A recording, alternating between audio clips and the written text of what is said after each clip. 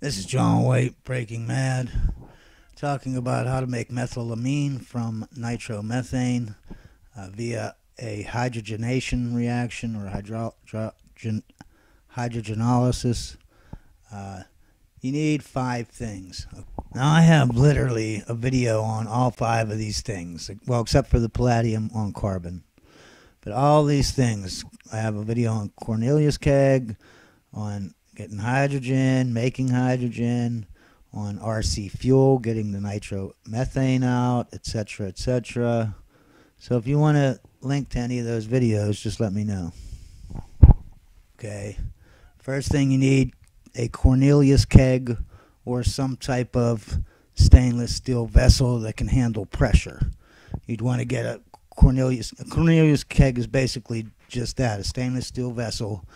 And you can put beer or soda pop in there. And then there's imports and outports so that you can connect high pressure gases into there, mainly carbon dioxide. That way you can carbonate the beverage. Uh, so you'd need one of those. You can get those on eBay or any brewer shop. You know, where a home brewer who microbrews would go to buy supplies. You know what I mean? Uh, hydrogen, you can get any welding stores, welding supply place. Uh, but you, you know, a small tank is probably going to cost you a hundred bucks. Palladium on carbon, 5%. You'd have to buy the palladium metal, which is no big deal, and make the palladium on carbon, which is no big deal. And last but not least, you need the uh, nitromethane that you're going to change into methylamine, and you need this, some kind of solvent, which we're choosing methyl methyl alcohol. How do you get those last two things? Well, you're in luck because they come in together in a thing called RC fuel. RC stands for radio controlled. Like if you have a radio controlled car or radio controlled boat or plane, uh, some of them work on batteries, some of them work on liquid fuel like gasoline. But it's not gasoline, it's actually uh, nitromethane and methanol mixed together. Uh, somewhere between 10 and 30 percent for the nitromethane, and the rest would be methanol. But there are some high boiling oils and castor oils in there, just a little bit. So if you bought some at the, you know, if you're in a big city, you can go get it at the store. If not, you can buy it on eBay or whatever. And you would just distill out the, because the methanol and the nitromethane form a azeotrope. But who cares? You're going to combine them back together anyway. So you distill everything out, leave the high boiling oils in there, and now you have the last thing that you need. Now you can see the picture there. There's my tank of hydrogen, right?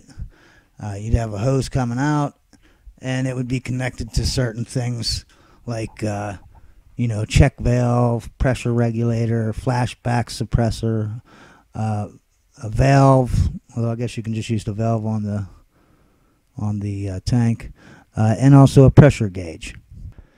And you can see then after all those check valves and all that stuff, it goes down to the Cornelius keg there. On the bottom left hand side, you'll see it. And inside there, you would put your methanol, nitromethane that you distilled, and your palladium carbon, 5% that you made. And you would put it in there. You would turn the hydrogen on so that you get a PSI of 80. That's why you need your Cornelius keg to be rated at at least 120 to 130 PSI to withstand the 80 PSI that you're going to put on this tank. Uh, stir it or shake it with a machine or stir it. You know, you got to have some movement in there. And 24 to 48 hours later, you'll be done. How do you know when you're done? Well, what you do is you turn your hydrogen on, right? When it gets up to 80, it doesn't have to be exactly 80. You, if you get it up to 90 psi, don't you know? It's no big deal. Just turn it off, and uh, as the hydrogen reacts, you know, it goes into solution, right? Because it gets put onto the nitromethane, and come, and so there's less molecules in the gas part of the of the Cornelius keg, right? So that makes the pressure go down. Okay, so as the reaction goes, the pressure will go down, and every hour you go and you check. You know, you check the pressure. You know, let's say it went down to 70s after an hour, so you open up the tank again and let it go back up to 80. You know, maybe even 90 psi, turn it off, and then wait another hour. Now, when you first start doing this, it, you know you're going to see a big, you know, it's exothermic. You, know, you're going to be using up hydrogen kind of fast, at least relative to the end of the reaction. But each hour you go back, you're going to have to fill up less and less hydrogen. And after about 24 hours, uh, you know, you might not even fill any up after an hour. You might have to wait two hours and then fill it up. And another two hours and fill it up. But somewhere between, you know, 24, 36, 48 hours, you're either going to get sick of it being so slow or it's going to be done and you're going to stop the reaction. All right, so there's the equation for it. I mean, it's just a generic equation. You got your nitromethane plus your hydrogen, methanol for the uh, solvent, palladium on car- carbon, 5% for your catalyst. Just mix them together, like I said, stir them up and wait. You know what I mean? When it's done, uh, we'll get into that. But let's first of all, you might say, well, how much, what's the ratio of these chemicals to use? Uh, well, the nitromethane, let's just go by molar amounts. Let's say you need one mole. Okay, so that's 53.66 milliliters or 61 grams, right? For each mole of nitromethane, I would probably put in about a gram of palladium on carbon, maybe a half a gram. Okay, and keep in mind, I'm just guessing. I've never done this experiment, uh, but I would say a gram to make sure, a half a gram maybe.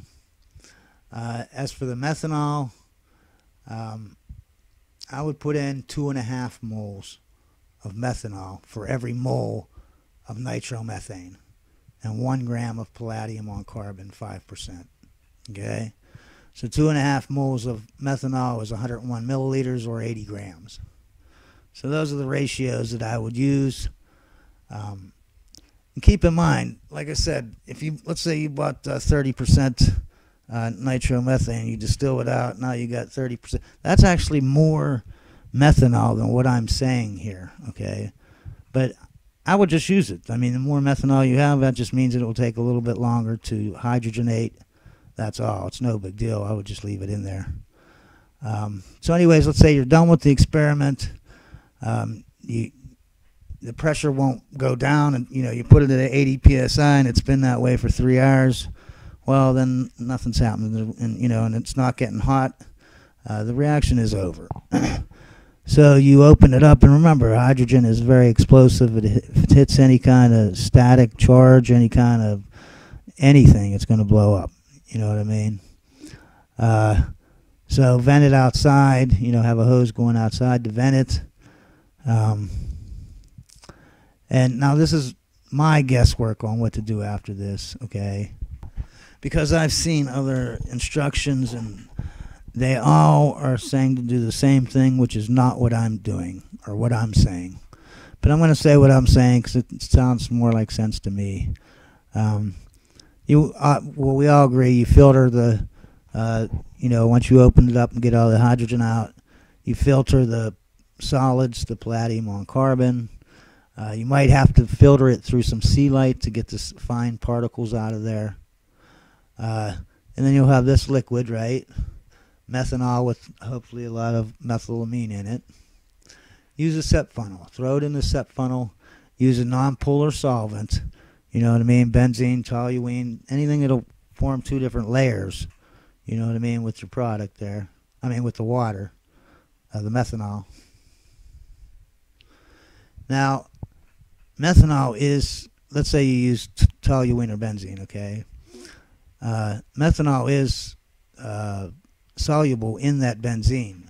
But if you also throw some water in, okay, it will form two layers.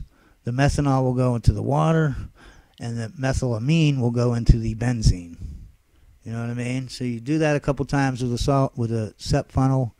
You know, throw your non-polar stuff in with some water, forms two layers, shake it up, you know what I mean? Let it sit 20 minutes, blah, blah, blah. So after you're done doing that, now you will have your methylamine inside a non-polar solvent like benzene or toluene or whatever, ethylbenzene, whatever. uh, so now you want to acidify. Um, no, you want to dry it first. so throw in some, you know, molecular sieves or some whatever. uh, magnesium sulfate anhydrous or some kind of anhydrous salt to soak up the water. Uh, then, of course, filter that out. And that, now you have this nonpolar solvent that's hopefully dry with your methylamine product in it. So all you have to do is bubble HCl gas into the nonpolar solvent and your methylamine hydrochloride will precipitate out and you can filter it. You don't have to really wash it with chloroform, although you could. The reason why people wash it with chloroform is because they want to uh, dissolve the dimethylamine into it, which is the impurity, and the methylamine won't isn't soluble in chloroform. But the way we're making it, we're making it from nitromethane. There really shouldn't be a, you shouldn't really have to use chloroform. There should be no dimethylamine or trimethylamine in there at all. Because um, where would the N group come from to make all these extra amines? You know what I mean? Uh, so then you just have to dry it under a vacuum, and you have your dried methylam, you know, nice pure methylamine hydrochloride. Now, if you didn't want to bubble any hydrochloric gas through the nonpolar solvent that had your methylamine in it, you know what I mean? So you can, it'll precip out as a salt and you can filter it. If you didn't want to do that, all you got to do is throw the non-polar solvent with the methylamine in it, right? Instead of bubbling HCl gas through it, you just put it in a SEP funnel and then put some hydrochloric acid in with it, right?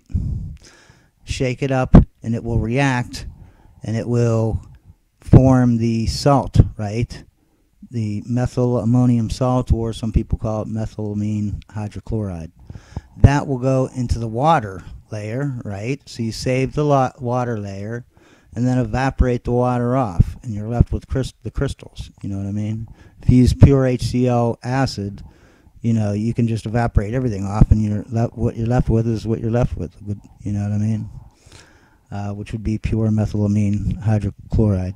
Another thing is like when you make it from formaldehyde and uh, ammonium chloride, a lot of people will use ethanol to recrystallize the methylamine because it helps to get the ammonium chloride out of there. Uh, so you could always, if you wanted to recrystallize it in ethanol, you could, although I don't see the purpose because there's not going to be any, you know, if you bubble the HCl in, there's no you're not going to have any salts or any anything like that in there. You'll, you'll just have a pure product. Anyways, that's my guess. Remember, I've never done this reaction, and like I said, especially at the end there, I'm giving instructions that aren't even the instructions they give are stupid. I don't, uh, and there's a few of them that give the same stupid instructions. I don't, I don't like them. I mean, they're probably right and I'm wrong, but I, I just I don't like them. Anyways, y'all have a great day, and always remember, science is great.